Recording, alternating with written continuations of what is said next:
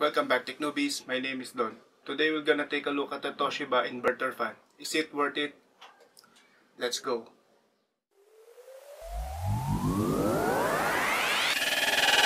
Tech Noobies. This video is not sponsored. I bought this unit with my own money, so no bias here. Kudos to the seller as this item came in completely bubble wrapped. While there are mm. many other inverter fans out there, I chose this model because it has an IR remote, something that I can automate later with a smart IR blaster like Lasco Wi-Fi Smart IR Pro B2 or the popular Broadlink RM4 Pro, both of which can then be integrated into Alexa. After removing the bubble wrap, there's a thank you card from the seller on top.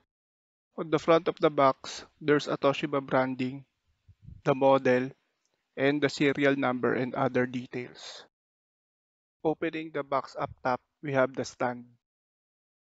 Then the base which is quite heavy, the manuals which no one ever reads, plus the remote and the battery, the outer grills and the fan blade, and the motor assembly. To assemble the fan, first take the stand and unscrew the large knob with your hands. Then align the stand to the base and push them together. Screw in the large knob you took out earlier and tighten it. Next, take the motor assembly and loosen the knob at the back. Align the notch on the stand and insert the motor assembly. Tighten the knob to secure the motor assembly in place. Unscrew and remove the blade lock and do the same for the rear grille lock. Insert the rear grille and align the holes to the pegs on the motor assembly. Then screw and tighten the grille lock. Insert the blade and lock it in place by screwing in the blade lock. Finally, align the upper guide on the front grille to the rear grille. Snap the front grille in place by pressing around the circular perimeter of the front grille. Secure the front grille by snapping the lock in place found at the bottom. Here's a size comparison of the fan at its lowest height. I'm about 5 feet 10 inches tall. Here is the fan at its highest height. The on-off switch is found at the bottom of the control panel. Above it is the swing button. Rotating the center knob clockwise increases the fan speed, while rotating it counterclockwise reduces the fan speed. Let's take a look at the included remote control. To take out the battery tray, press on the latch and slide it out.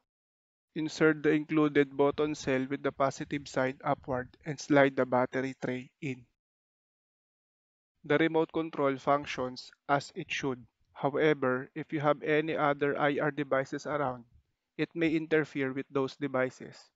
Here you can see that the LED strip are responding to the IR signal of the remote. I had to hide the IR receiver for the LED strip to solve this issue. The LED display on the control panel turns off after a few minutes of being idle. The maximum speed setting is at 26 and the lowest is at number 1. This fan also has 4 mode settings. Sleep mode which has up to 3 speed settings 1 to 3. Nature mode which also has 3 speed settings 1 to 3. Silent mode which only has 1 speed setting.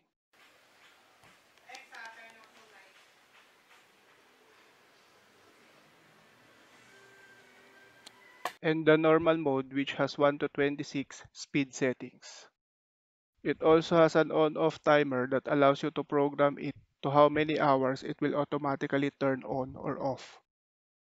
Overall, the aesthetic and function of this fan is great. Just don't expect industrial fan speed level as this was not built for that purpose. Yes, this is a bit pricey compared to other inverter fans, especially non-inverter fans, but the convenience the additional features bring is well worth it.